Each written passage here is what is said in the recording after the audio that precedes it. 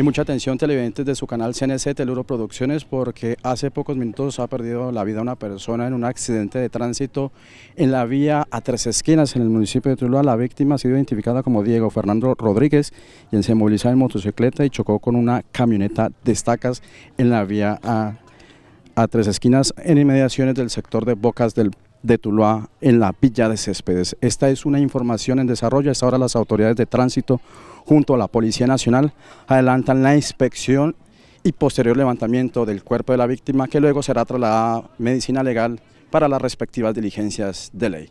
Esta es una noticia de última hora. Continúen con su programación habitual.